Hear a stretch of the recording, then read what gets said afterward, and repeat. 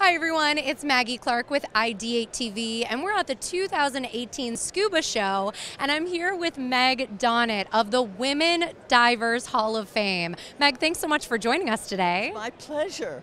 Meg and I have a special bond because we are both Margarets, so that's pretty exciting today. And Meg, I would love for you to tell us a little bit about your scuba diving journey. How did you get involved in scuba diving?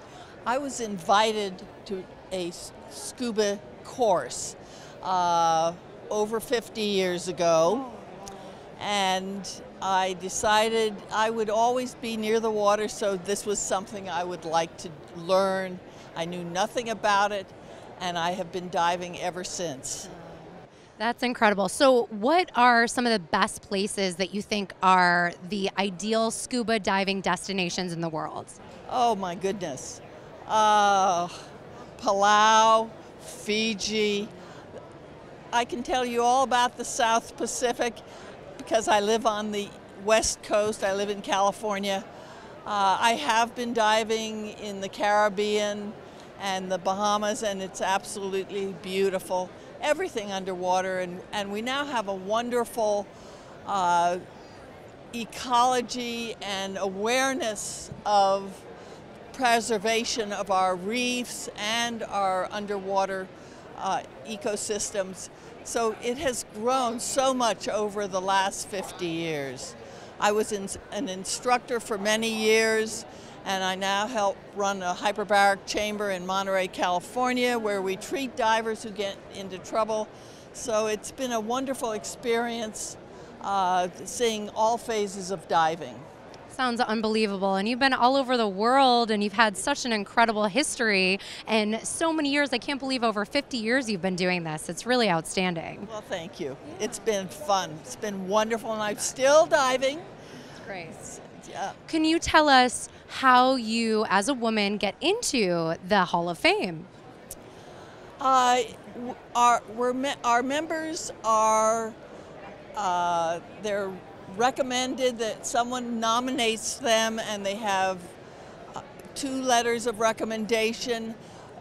It's based on their contribution to many different parts of diving.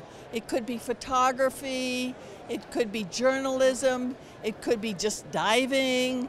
We have many members who are uh, former military, are still active military female divers hard hat divers.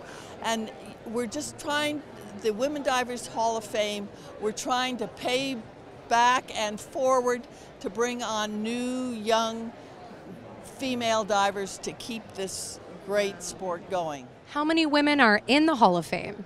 Uh, my goodness, uh, over 200. We we started, uh, yeah, we've been in existence since 2000. They started out with uh, thinking it would be a one-time event and now they realized, oh my goodness, we forgot to invite and we forgot to invite. So every year they uh, have about six members who are new members who are brought on who have made major contributions over the lifetime. I, we heard uh, Zale Parry this morning speaking and sh she's been diving since the 50s and before. Wow, that's incredible. Well, Meg, right now we're going to ask you our question of the day.